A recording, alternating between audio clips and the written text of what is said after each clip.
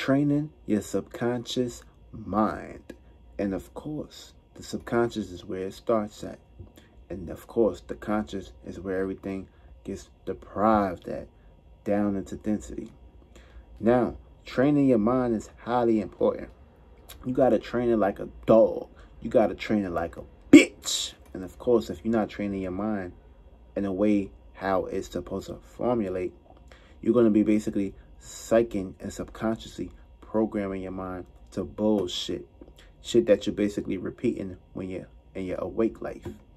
Now, having the subconscious mind to be trained into the perspective is a constant pattern, a routine. And of course, you have to come up with a routine, a pattern that you're going to basically orchestrate throughout the 23 hours of the day. Now, whatever you're doing within them 23 hours, whether you're busy doing something else or whether you're pretty much inconvened with a different perspective or different route, this puts you into the place of using what you're doing as a tool to basically get you from point A to point B throughout your day. Because remember, whatever you're feeding your mind is basically what you're feeding your child.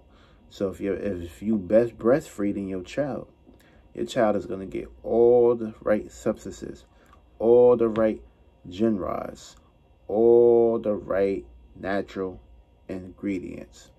Now, if you're feeling feeding your child external milk, which means your child is being fed by another titty and not your titty, this makes it uh, differences, uh, neglect, a neglect, aka your child is basically drinking a different blood, a different stream.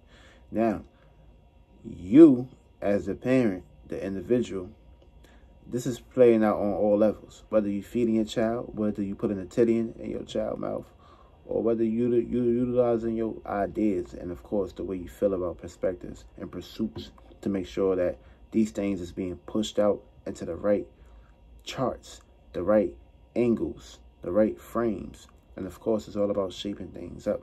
So you got to have the right space, the clear, the clearest space as much as possible to get your subconscious flowing and growing. Because of course, it's a whole lot of shit that may have put you off task or distracted you throughout your day. But if you're strong enough to maintain that mentality that you're basically trying to sharpen, create, and of course, shape up, then these things is going to shape up for you. But 10 times out of 10, we always get taken off task by distractions or external bullshit. You're supposed to use everything like a bitch. So even if you are getting taken off task, use that moment, that time, and of course, that reference as your bitch. Because these things will happen.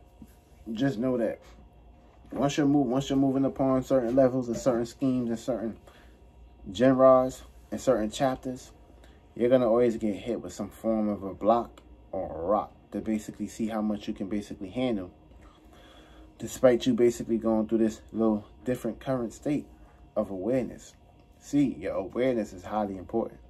And you have to be aware of things on all levels and it's a percentage level.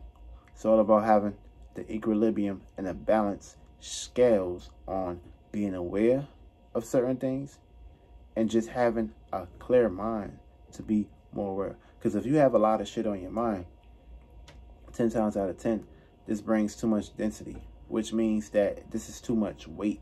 And when things is too much weight, you get outweighed mentally. And when you're outweighed mentally, that means you have a whole lot of baggage within your mentality, your mind.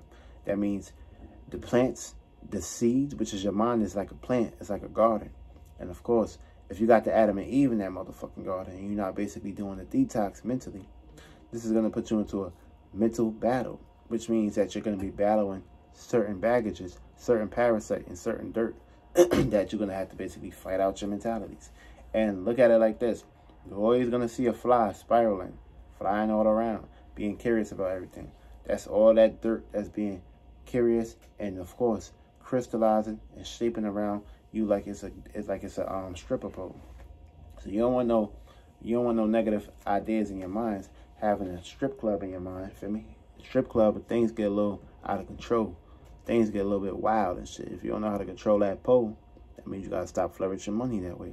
If you stop putting money on that goddamn pole, that pole is gonna be stable that pole is going to be um, not in service anymore. Now, if you got that pole in control, that means your pole, that stick, that's a strong mind, a strong mentality, a strong dick that you can utilize to shoot the right shit in the right frame, and of course, the right hole. We all got that strap. We all got that sh that sharp shooter mentality that we got to make sure that we using shit to the right aim and the right perspective on how we can basically penetrate and orchestrate shit. Now, training your subconscious mind.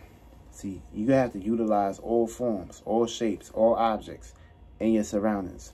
It don't matter what it is. It could be a, a pen, a calculator, or something that you basically utilize every day. For instance, if you're using a pen, then you know you got to utilize that pen as a bitch, aka whatever you pretty pretty much putting on that paper. That pen is going to take the shape and form, and it's going to basically bring things down to your life into a dense pattern. And of course, having things written down means that you have a vision, you have a sight, you have a view, you have a clairvoyance perspective on how you want to basically bring that vision down here. So now, you already got the vision. Now you got to add a little bit more water to it. Get that vision moist. Get that vision wet so that vision can basically burn out a little bit. So once that vision get the spark and get the water, the flames, everything start cum accumulating. Things start getting a little bit of hot. Now once it start becoming steamy, they go that tss, then now you can think about it. Now you can talk about it. Now you can communicate about it. And then when they get physical, now you can hold it. Now you can feel the physical perspectives and of course the materialism of the aspect. And that's how things pretty much start crystallizing, depending on how much time and energy you was basically giving it. Now, the question is, where is your time? Where is your energy going towards to? Because you have to look, you have to be on the outside looking in. You can't always be inside and expect for the outside to look out all the time because you're trapped inside and you're not seeing everything on a higher totality. So if you're not pushing yourself up or moving forward out of a situation to see all angles and all spectrums and all speculations, then of course things won't basically be spiraling in your favors. Things will be unspiraling, which means you're hiding something off. You have something hidden. Of course, when something is hidden, you gotta be brought to the light in some way, some shape, some form. So whatever you had hidden, whatever you was working on, these things will crystallize. These things will come into density, but depending on how much time and how much a percentage level you give an alter to that. You change things up, you switch things around. You make sure whatever you basically trying to focus on, you're making sure that thing is being harnessed into your ship, not someone else's ship, not one else's, not someone else's sales. Because of course, you you always got to remember that there's gonna be shit out here to take your mind off of things and make you feel useless due to certain things that's going on. But when you're subconsciously training your mind and when you're getting into the behind the scenes aspects, these things are unseen.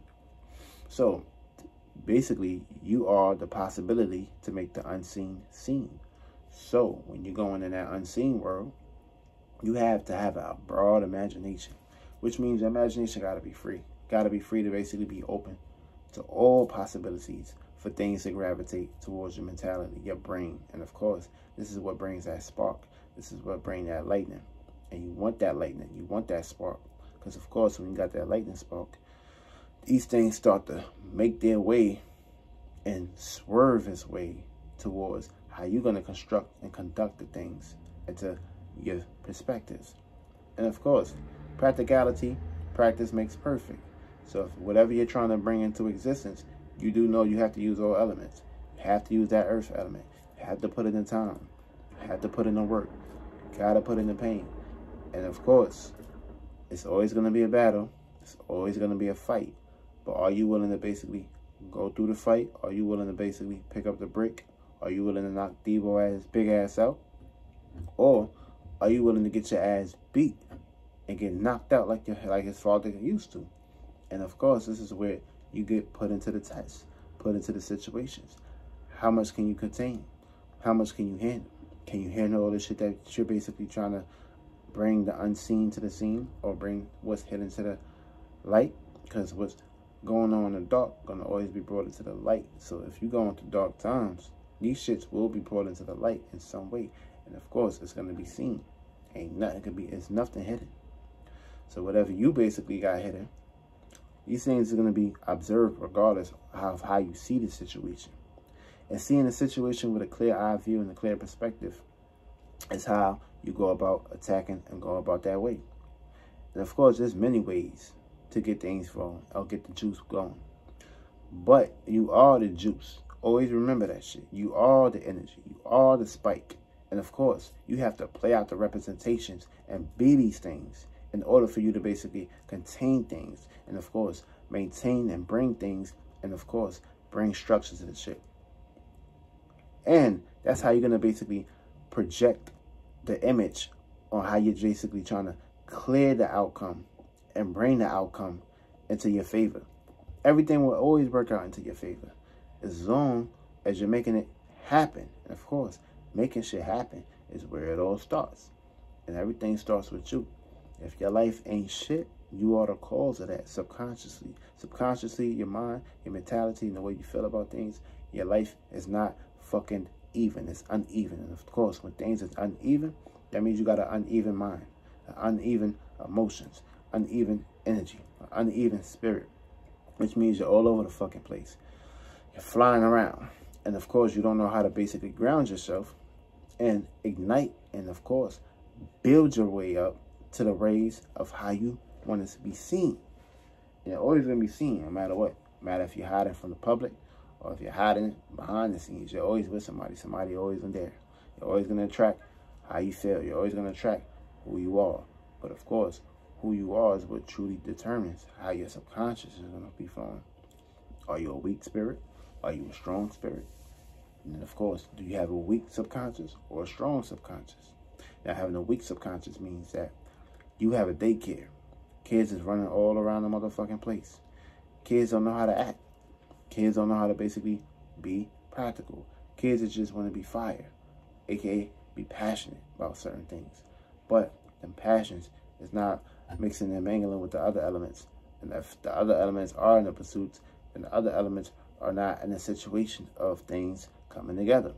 You gotta come together to work together. Just like how fire, water, air, and earth works together. You gotta bring the element, you gotta bring the practicality, you gotta bring the shine, you gotta bring the light, you gotta bring the water.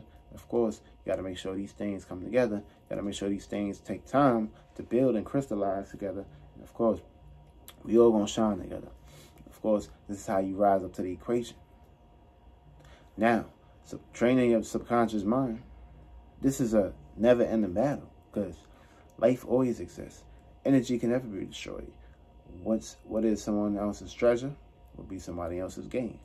What else else somebody's shit is gonna be somebody else's gain. So it's all about how you feeling. It's all about how you thinking. It's all about how you vibrate. It's all about how you go on these undercurrents and these waves. And of course, you're always gonna get hit with waves. You're always gonna get hit with high waves, low waves. It don't matter how it plays. You're gonna always be put to the test. And of course, depending on what wave you was in, when your ass left this hemisphere, and when your ass experienced certain shit, these are the hemispheres. These are the um, due to the directions and the angles that's gonna basically bring you a good life, a treasure, or a bad life for you surf, searching for the treasure. Which means you know where you put the treasure at when your ass left this world. So your ass had to basically go out there and look for it so goddamn long. But if you knew yourself and bend yourself, you knew where to look. You knew where to start. But never get lost because every day is up even better. And you got to always be ready. You got to always be prepared to shoot first and ask questions later, which means take charge, take the gun, go ahead, make that move. Don't be beating around the bush, basically trying to get questions from every person, place, or thing, or every side. Because remember, not you is going to be the situation, but how you present yourself and how you go obtain about doing things in your own perspective, with that's what truly matters the most. Seeing somebody else's point of view and references for your eyeballs don't really work in that favor. Remember, everybody's different. So you gotta have a different perspective and a different outcast and a different cause on how you're gonna basically penetrate the situation or shit. That's how you subconsciously subconsciously control your fucking mind. What's on it?